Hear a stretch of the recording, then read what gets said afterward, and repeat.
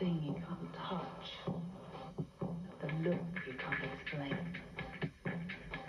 The beauty of power. Girl power.